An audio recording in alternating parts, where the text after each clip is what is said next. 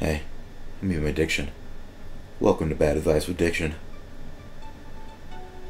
Larnock asks, How can I overcome my shyness? Well, I honestly don't know. I've never been shy in my entire fucking life. I am the life of the party, okay? Everywhere I go, people want to talk to me, and I'm okay talking to them. Um, so your problem is you don't talk. You gotta get over that first barrier of talking. So what I would I would do is just go to someplace public, like a farmer's market or a mall or something, and just approach people randomly and talk to them about anything, any of your interests. Don't even introduce yourself because that's the part that like that's the barrier right there. Is that you can't be like, "Hi, my name is dot dot dot." You have to initiate the conversation, and then after that, they're gonna be like, "Whoa, who are you?" And you'll be like, "I am dot dot dot." Zerch Rebel asks, "A girl wants to have sexual relations with me, but she's got a boyfriend. What do I do?" I mean, the simple answer is you kill the boyfriend, dump his body in a river or something, cut off all his fingers, and pull out his teeth so he can't be identified that quickly. Um, but that's you know it's kind of a big thing. I would probably just uh, go look for a girl to have sex with that doesn't have a boyfriend because that's fucking stupid and you're a fucking idiot if you fucking do that. Also, you're a bad person because you're a cheater. Think about that. Fucking idiot. White Arcanine asks, I have a friend who's a typical douchebag. He's all best friend until the group comes along. What should I do?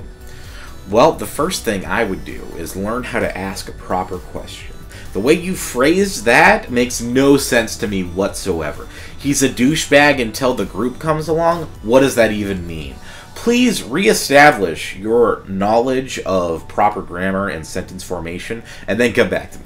Alright? Okay. Damon978 asks, Well, fine, there is a crazy chick I know that asked me out, and I said I might in a few months, and she took it as a yes. Never say maybe to the crazies. They always take that as a yes. Always.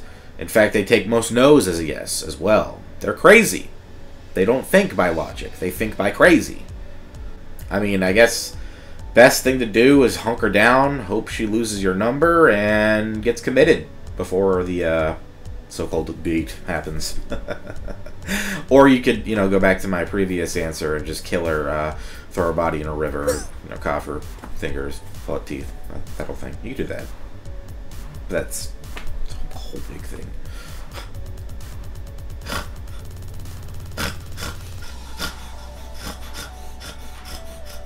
Finally, Anonymous asks, Diction, I've been seeing this girl for like a month or so now, and hooking up with her.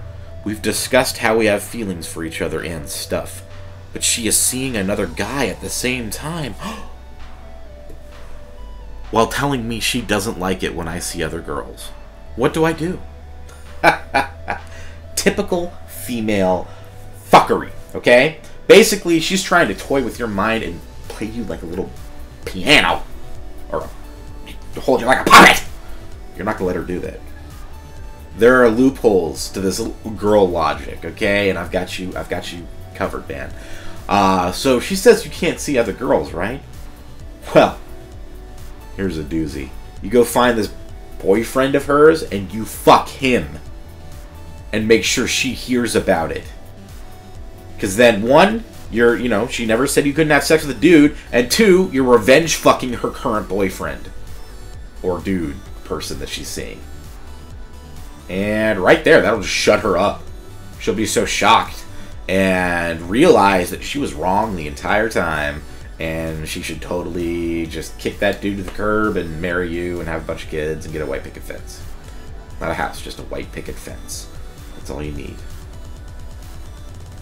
Well, this has been Bad Advice Addiction. Uh, if you'll excuse me, I have to go put powder on my bum cakes.